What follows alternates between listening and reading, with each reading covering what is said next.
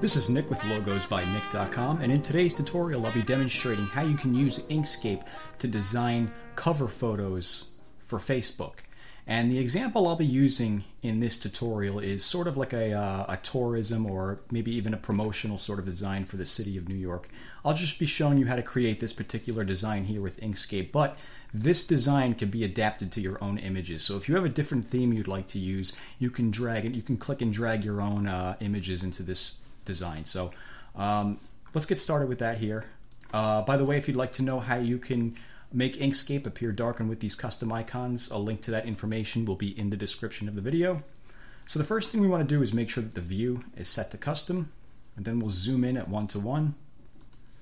Then we'll open up the Align and Distribute menu with this button over here, and we're going to want last selected chosen from that drop down. And then we'll open up the Edit Objects, Colors, Gradients, and Stroke menu with that button there. So the first thing we want to do is create a rectangle the size of the Facebook cover photo, which for Facebook, their size specification is 851 pixels wide by 315 pixels high. So let's grab the squares and rectangles tool, click and drag and create a rectangle, and just make sure that you have sharp corners over here. You don't want rounded corners like that. Just make sure that button is clicked. If it won't let you click it, that's good. So um, We'll go back to the select tool up here and we're going to change the width and the height of this where it says W and H. We're going to change the width to 851.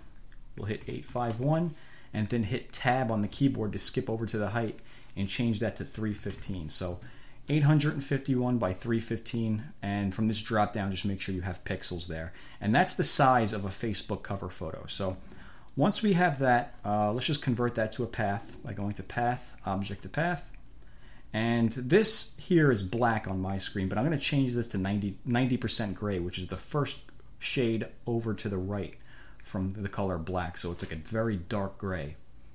So the first thing I want to do now is I'm going to create these little tiles here where these individual images are going to go. So to do that, I'm going to right click on that uh, rectangle and go to duplicate.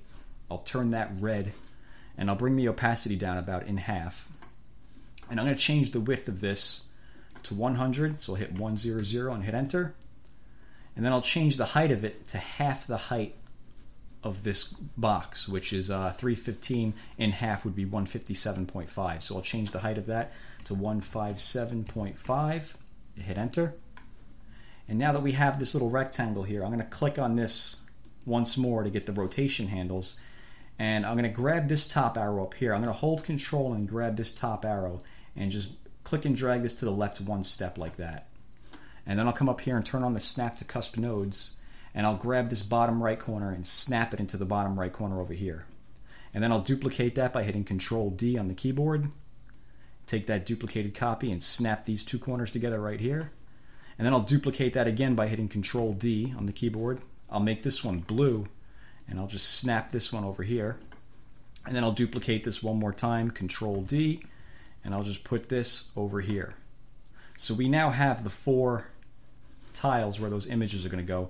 The next box I'm going to create is this, uh, like this translucent uh, tile right here, and the little white stripe that goes alongside it. So to do that, I'm going to click on this top red one, and then hold Shift, click on this the, the blue box beneath it, and I'll duplicate them by hitting Control D, and I'll go to Path, Union, and then I'm just going to hold control on the keyboard and click and drag this off to the left like over here. And I'm going to turn off the snap to cusp nodes. We don't need that right now. And I'm going to take this red box in order to create this little white stripe right here. I'm going to duplicate this by hitting Control D. Whoops. Uh, hit Control D to duplicate it and hold Control and just click and drag this off to the right. And I'll bring the opacity of that all the way up. I'll, I'll make that white. And then I'll go to the Edit Paths by Nodes tool over here. And I'm going to click and drag over this node, hold Shift, click and drag over that node, and while still holding Shift, grab that node. So we have all of the nodes on the right hand side selected.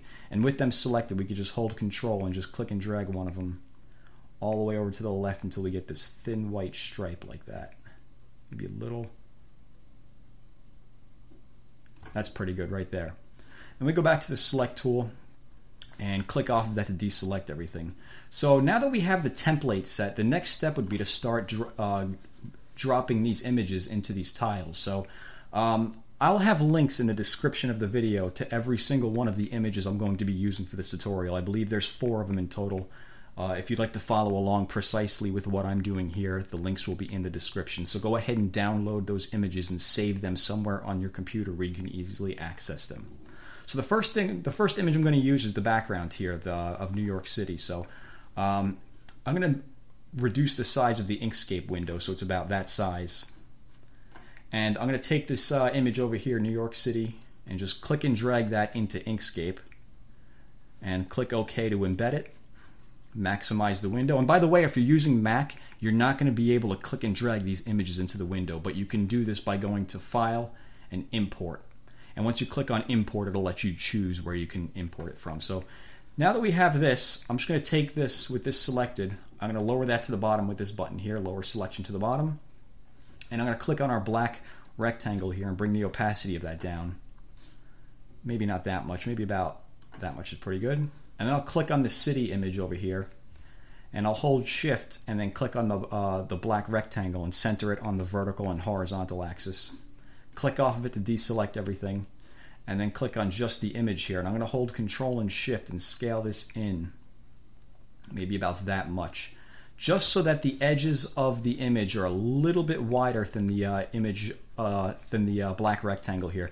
You don't want this image being smaller than the edges here. You want it a little wider like that. And let me zoom out a little bit. Let me go back to this. And I'm just going to hold control and click and drag this up a little bit so that we can see more of the city within this black rectangle and less of the sky. You don't want to position it so you have like nothing but sky and you can't really see much of the city. So I'm going to put this up about that far. That's pretty good. And once we have that set, we can click on the black rectangle and hit Control D on the keyboard to duplicate that. Then hold Shift and click on the image. And with them both selected, we can go to Object, Clip, Set. And we now have that set as the backdrop. And now we can click on this black rectangle and we can just adjust the opacity uh, according to how much you of the city image you want of it to show through. So I'm going to leave this right about here. That looks pretty good. Maybe 75%, maybe a little less. And the next step would be I'm going to click and drag this image of the World Trade Center into these two tiles right here. So I'm going to click this blue tile and hold shift and click this blue tile. And with them both selected, I'll go to Path, Path, Union. And then I'll raise that to the top with this button right here that says Raise Selection to the top. And then again, I'm going to minimize the window here and I'm going to grab the image of the World Trade Center and click and drag it into Inkscape. Click OK to embed it. Maximize the window. And I'll lower this one step so it goes beneath the blue tiles. And I'm just going to position this image within the blue tiles. I'll hold Control and Shift and grab one of these arrows to scale this down. And I'm just going to position this so that we can see the top of the tower and this part of this tower over here within the uh, the blue the blue tiles. Everything within those blue tiles is going to be what shows of this city image. So um, that's one thing to pay attention to.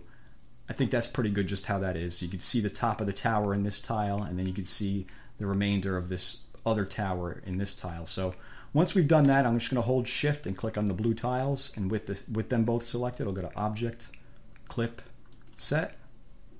And now I'll bring in the image of the Statue of Liberty. So I'll um, reduce this window again, click and drag this Statue of Liberty into Inkscape. And again, if you're using Mac, you're not going to be able to uh, click and drag. You'll just have to go to File, Import. So, um, all right, so let's click on this blue tile over, uh, this red tile, raise that to the top, and just bring this image over here, and just hold Control and Shift and scale it down so it fits nicely in there. Maybe about that size is pretty good. Hold Shift, click on the red tile, go to Object, Clip, set. And then finally, I have this image of the Brooklyn Bridge here. So um, let me once again reduce the size of this window, click and drag the uh, Brooklyn Bridge into there, click OK to embed it. And I'll just move this off to the left. I'm going to click on this red tile and uh, raise that to the top. I'll just put this over here, hold Control and Shift to scale it down put this right about here. Maybe I'll just make that a little smaller. Uh, make sure to hold control when you scale, whenever you're scaling, because if you don't, when you hold control, it locks the proportions like that. If you don't hold control, it's going to distort it, and we don't want that. So always hold control when you're scaling. And that's pretty good like that. And I'll hold shift and click on the red tile and go to object, clip, set. So we have that side of the image set. The final thing we have to do is make this part here more uh, transparent. So what I'm going to do is I'm going to click on this red shape and I'm just going to bring the opacity down a little more because I want to be able to see the Empire State Building behind that because I want to have this red tile positioned right over the Empire State Building so you can see it like that. So I'm just going to click and drag over the red tile and the white stripe and just hold control and move this off to the right a little bit so that the tower is a little more centered up within that, uh, that red uh, tile right there. And that's a pretty good position as it is. I'll click off of that to deselect everything. And what I'm going to do now is I'm going to take this black rectangle and just move this out of the way a little bit. And I'll take this city image that we're using as the background and I'll duplicate that by hitting Control D. And I'm going to lower that one step, lower it again, another step, another step, another step, and one more until it goes beneath the red stripe. And once it's beneath the red stripe, we could hold shift and click on the red stripe and go to Object, Clip, Set. Now we can click on the red, uh, I mean the uh, black rectangle, then hold shift and click on the city image and just center that back up on the vertical and horizontal axis and then click off of it to deselect everything. So what we could do now is we could take this uh, image here, this right here, and I'm just going to bring the opacity of that down a little bit so that isn't so harsh with the contrast. Maybe just a slight transparent effect like that. And then if you'll notice here, I have the white stripe going over the edge of this black tile right here. So I'm going to take this white stripe and I'm going to raise this to the top with this button up here. And I'm going to zoom in over this a little bit by pressing plus on the keyboard a few times. And then I'll just hold control and click and drag this over to the left until it goes over the edge of that black line right there. That's pretty good. I'll press 1 on the keyboard to zoom back out to 100%.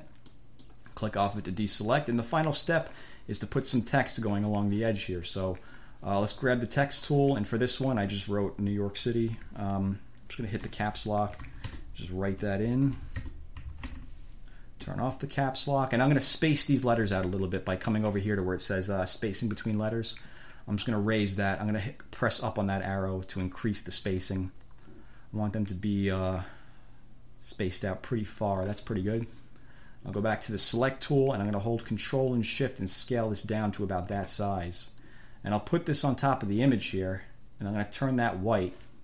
And in order to make it go parallel with this line, I'm going to click on the text again to get the rotation handles. And I'm going to hold control and grab this top right uh, rotation handle on the top. And I'm just going to hold control and just rotate this around until it's aligned with the edge right there. It's running parallel. That's pretty good. I'm going to put that right about there. Then I'll hold shift and click on the black rectangle and just make sure it's centered on the horizontal axis. Click off of it to deselect. And let me just zoom in on that a little bit. I'm just going to hold control and move this to the left a little bit just to put it a little closer to the edge. That's pretty good. Press 1 on the keyboard to zoom back out to 100%. Click off of it to deselect everything. And as you can see, we're now done with our uh, design. We now have this image that we can use as a Facebook cover photo. So if you want to actually use this as a cover photo, which all you have to do now is click and drag over the whole thing and go to File, Export Bitmap. And if you're using the later version of Inkscape, it's going to say export as PNG. So um, whatever, whatever one that says export, just click on Export Bitmap. And then you can click on Browse and choose wherever it is you want to save it. You can give it a name and then click save.